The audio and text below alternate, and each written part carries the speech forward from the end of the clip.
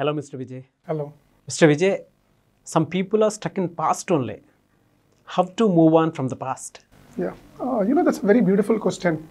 Uh, so people, you know, who think negative, what happens is their their mind is stuck for a very simple reason that the negative event, you know, that they have foregone in their life, the same event, you know, it keeps uh, hitting their head again and again and again.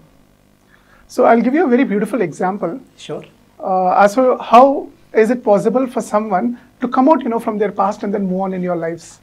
So what happens is there's a person named jack. Okay. and what he does is he goes to a very reputed uh, very senior counselor. And he says deborah has left me. Huh. yeah. So he keeps saying the same thing. He says deborah has left me. Can you do something? And he says i'm really very down because deborah has left me. Deborah is the lady. Yes. So it is probably you know his girlfriend, and then she has left him. Now what happens is uh, the reputed senior counselor he is trying to identify his problem, and uh, he finds out that Deborah is already married. So he cannot do anything much because she's already married, and this guy is stuck in the past. Yes. Yeah. So the fact is, he goes and then you know he explains him, and then no matter how much ever you know he tries to explain, uh, this guy you know he keeps uh, telling the same thing. He says, "Deborah has left me. You're a very reputed uh, senior counselor, and then you need to do something." Yeah. So the fact is, no matter how much ever he explains, he goes back to the same line again and again, and then he says, Deborah has left me, and you need to do something. So what happens is this guy, I'm talking about the reputed senior counselor, he says, Okay, why don't you come down to my home? Uh, for 30 minutes, I'll counsel you and I'll make sure that uh, you are coming out from your past and then you are off from your problems. And then this guy is very happy. He goes back home, and then the next day, he goes to the counselor's home, and then he sits there. Okay. So what happens is, uh, as soon as you know he goes, he sits there. What he says is, "I'm going to play a music for you. You just have to listen to this music. It's only for 30 minutes." And he says, "Trust me, this is going to change your life." So he does not believe and then he plays the music like he opens the laptop and then he plays the music so the song you know it starts it says everything i do i do it for you so it's a very beautiful song of Bryan Adams so this line you know keeps repeating again and again and again so again you know it says everything i do i do it for you again everything i do I do it for you. I do it for you. Now, this guy, you know, he is listening, and after five minutes, he gets furious. He gets agitated. He thinks, What's wrong with this guy? He's playing the same line again and again and again, and it's only one line. I, and then, you know, he's amazed and he's confused as well that what's wrong, you know, with this counselor. And he also starts thinking in his mind that uh, did I come here for counseling or did something happen to this uh, reputed counselor? so he keeps listening to this, and post 10 minutes, this guy gets wild. He stands and then he goes to the laptop, and straight away, you know, what he does is he deletes that file. He presses a button called Control Alt and then delete.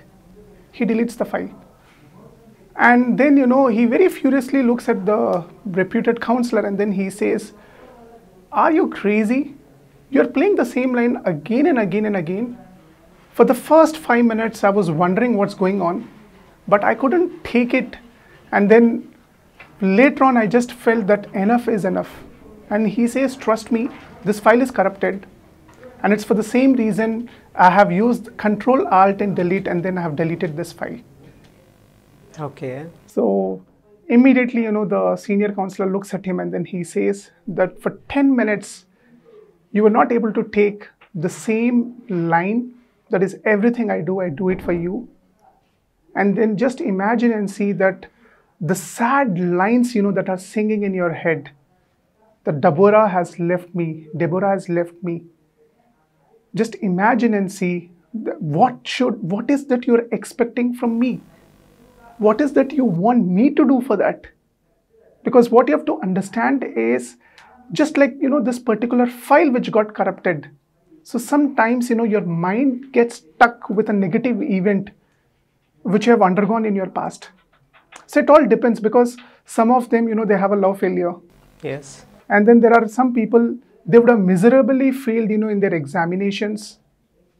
You also come across some people, they would have started business and then they're not doing well, they incur heavy losses. You also find employees who are highly ambitious, but they are not doing that well in their lives. So, what you have to understand is universal power, you know, they always try to test the patience of an individual Oh, and we shouldn't worry a lot. So, just like the control, alt, and delete, whatever negative experiences that you have undergone in your life in the past, you just have to take it off, you know, from your head. Because understand that if you keep thinking about the problems in the past, that's going to eat away your present time, and that in turn will have an impact on your future as well. okay. So we need to do that. So what you have to understand is why do you want to waste you know the precious human energy on things that cannot be changed and not channelizing it on things you know that can be changed. So don't waste your energy. What has happened has already happened. I'll give you another example. Suppose say an employee is fired from a company. So when he comes out, now there are two ways you know you can look at this particular problem. So one is this employee is fired, so he feels agitated, he feels furious, and then he also gets depressed. That I've worked in this company for many years and then the boss has fired me.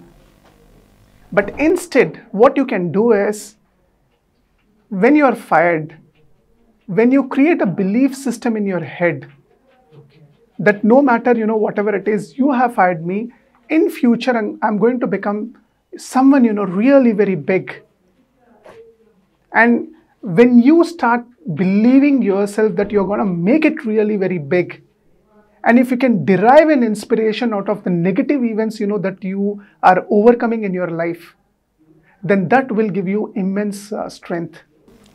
Oh, that will definitely you know give you immense strength courage and then the confidence as well as willpower to be someone. So take a resolution nagaraj that people you know who made you cry in the past you're not going to waste your precious energy crying for them anymore but instead you're going to be someone really you know very big someone you know very popular in your life that the people who left you in the past should actually feel for you in the future.